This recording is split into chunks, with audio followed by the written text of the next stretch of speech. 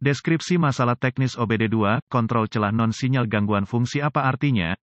Ini adalah kode masalah diagnostik powertrain generik DTC dan biasanya berlaku untuk kendaraan OBD2 yang dilengkapi dengan cruise control. Itu mungkin termasuk tetapi tidak terbatas pada kendaraan dari Peugeot, Ford, Nissan, Chevrolet, Hyundai, VW, Audi, Citroen, Dell. Meskipun generik, langkah-langkah perbaikan yang tepat dapat bervariasi tergantung pada tahun, membuat model dan konfigurasi powertrain. Di dalam cruise control opsi kendaraan, ada banyak fungsi, operator tidak hanya dapat mengatur kecepatan kendaraan tertentu, dan itu itu dipertahankan secara otomatis menggunakan banyak sensor, saklar, modul, di antara banyak komponen lainnya, tetapi Anda juga dapat memodifikasi kecepatan secara elektronik, yaitu set dan amp, resume plus, sementara memodifikasi kecepatan sementara menyimpan kecepatan sebelumnya, yaitu kendaraan yang lewat, berhenti, melambat tidak terduga, antara lain, mengingat fakta bahwa sebagian besar fungsi yang disebutkan dalam deskripsi P0566, dan kode terkait P0565, P0567, P0568, P P0569, P0570, DEL.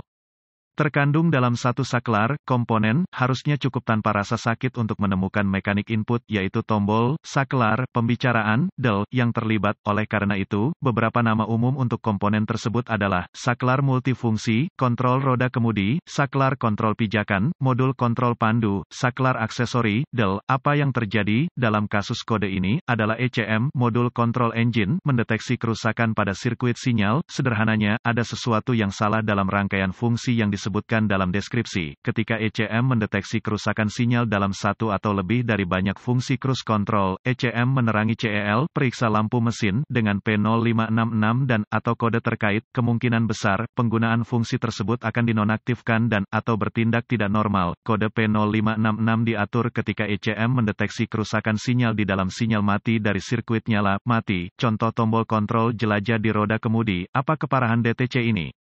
Tingkat keparahan akan dianggap cukup rendah, bahkan jika Anda kehilangan seluruh fungsionalitas sistem kontrol pelayaran, Anda masih bisa bekerja dengan aman, sejauh kerusakan lebih lanjut jika dibiarkan tanpa pengawasan, ini akan menjadi kasus langka di mana Anda mungkin dapat mengabaikan jika katakanlah, kendaraan Anda sudah tua dan Anda dapat hidup tanpa pelayaran, atau Anda tidak mampu memperbaiki kendaraan, yang sedang berkata, ada kemungkinan bahwa mengabaikan masalah listrik apa pun cukup lama dapat mengakibatkan kerusakan lebih lanjut, apa saja gejala dari kode tersebut.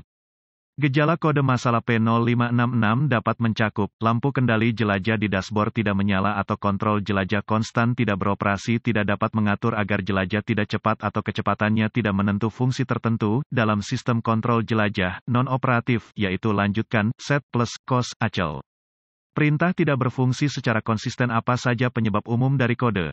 Penyebab kode P0566 ini dapat meliputi saklar kendali pelayaran atau tombol-tombol di dalam saklar, konektor yang rusak dan atau rusak tidak membuat sambungan listrik yang tepat dan efektif, kawat-kawat dalam harness kontrol pelayaran lecet dan atau rusak menyebabkan pendek, buka, tahan, del, rakitan saklar kontrol jelajah terkontaminasi dengan cairan, mis, kopi, soda, jus, del. Masalah ECM Masalah modul kontrol jelajah Masalah BCM Modul kontrol tubuh Bagian terlalu panas menyebabkan kegagalan fungsi apa sajakah langkah pemecahan masalah P0566?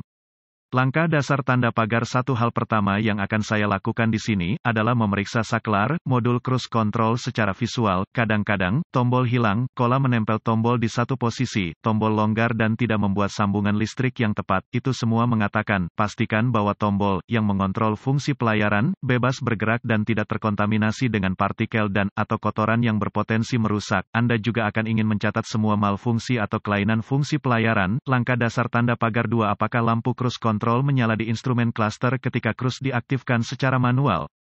Jika tidak, Anda mungkin ingin memverifikasi apakah ada sekering untuk sirkuit. Informasi ini harus ditemukan di manual layanan makek dan model, ganti sekering yang putus dengan yang baru dan yang disetujui pabrik. Langkah dasar tanda pagar 3 untuk mengakses harness ke saklar, modul kontrol jelajah. Secara umum, Anda harus melepaskan beberapa komponen dashboard, mis, selubung kolom kemudi, modul airbag di roda kemudi, del, untuk menunjukkan dengan tepat kabel yang terlibat dalam masalah. Anda pasti akan membutuhkan kabel yang tepat untuk kendaraan Anda. Ini sangat bervariasi, mengingat banyak alasan, selalu dapatkan informasi layanan yang tepat sebelum menjalankan sesuatu yang terlalu invasif.